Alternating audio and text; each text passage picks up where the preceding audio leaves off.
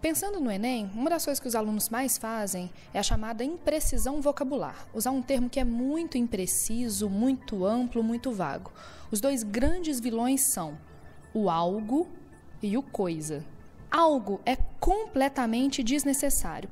Coisa também. Existem várias palavras que são mais precisas e mais adequadas. Exemplo de uso desnecessário do algo. A corrupção é algo típico do Brasil.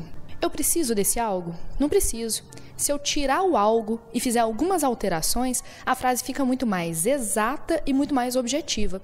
A corrupção é típica do Brasil. Então, uma dica: pega suas redações passadas e procura onde tem algo. Corta esse algo, faz a alteração necessária. Você vai ver que você não precisava dele de verdade. O outro vilão é o coisa muito utilizado para se referir a objetos. E é uma marca de oralidade, porque a gente fala muito o coisa. Então não precisa também do coisa, assim como não se precisa do algo. Exemplo disso. O consumismo consiste na obtenção de coisas inúteis. Eu não preciso desse coisas. O consumismo consiste na obtenção de produtos inúteis.